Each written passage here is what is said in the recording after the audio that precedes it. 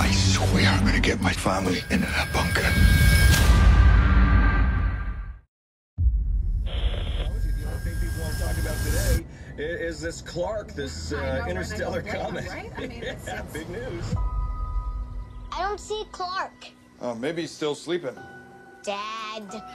Some of Clarke's larger fragments are now expected to enter our atmosphere. That's right, and now these are just. What are they saying? More of the I same. bet you it's gonna make a heck of a show. Whoa. Where are they going? I don't know. One of the first chunks is about to hit. Hit? Only part of it. It's going in the ocean.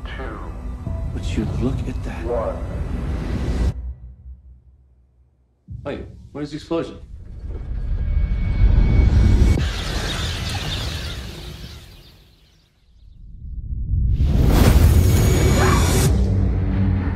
We now are getting word that the fragment has hit Central Florida. Oh my god.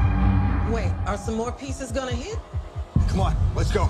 But the sky's on fire. Two days. They got it all wrong. There's a ton of fragments. Planet killers.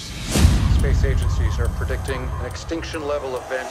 We're gonna be together, all right, kiddo? We're just trying to get to safety. They've been tracking the military flights to bunkers in Greenland. It's our only chance.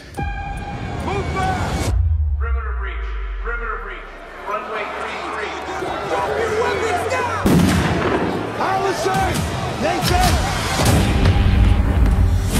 Allison! Where's Dad? We'll find him. It's okay. Clarke's largest fragment will hit in less than 24 hours. I swear I'm gonna get my family into that bunker. I know you will, son. If you are hearing this broadcast, seek shelter immediately. What is it? What's going on? you are hearing this bomb, seek shelter John, go! Seek shelter immediately. Hang on, Nathan! Seek shelter immediately. Seek shelter immediately.